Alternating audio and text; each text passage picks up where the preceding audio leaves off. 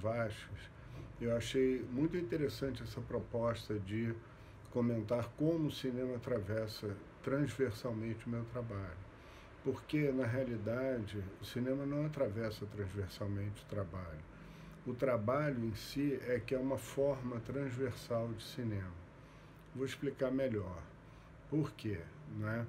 É, o meu primeiro livro foi publicado em 1976, se chamava A la recherche de l'Eldorado, né? em busca do Eldorado, uma espécie de uma narrativa russoniana, né?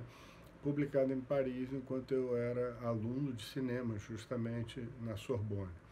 E foi concebido como se fosse uma espécie de cinema sobre papel, porque a minha ideia era fazer uma, como se fosse um curta-metragem impresso. Né? É, hoje em dia esse livro é, é considerado assim um dos precursores do fotolivro, né, do chamado fotolivro contemporâneo, justamente porque não mostra uma cidade, não mostra uma temática documental, e sim faz uma narrativa, assim, que se assemelha um pouco a um storyboard, né? Se a gente é, permanecer estritamente no mundo do cinema.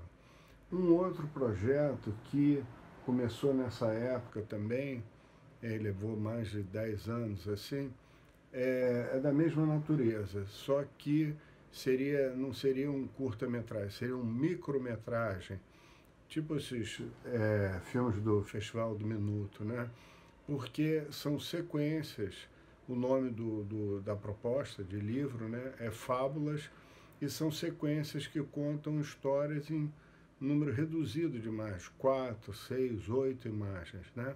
Ou seja, ainda uma forma de cinema sob papel. E o mais, o que eu acho que ficou mais assim claro para o, o público externo, né, é, é, o projeto chamado Espiral, que nasce como um projeto de livro com 80 imagens e é, depois foi transformado, graças aos recursos é, da imagem digital, justamente, numa projeção. Então se transformou num projeto audiovisual saiu do papel e foi para a tela, né? E foi apresentado justamente no Centro Cultural Telemar, na época, não é? Estava é, recém-inaugurado e é o atual Oi Futuro. Ou seja, são três exemplos que eu acho bastante característicos de é, cinema transversal, né? É isso.